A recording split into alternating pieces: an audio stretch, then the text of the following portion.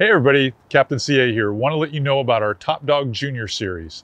We've got the Low Country Boil and the Little Wayne that we've launched recently. Now we're launching the Cotton Candy color, which is a big color if you're a trout enthusiast.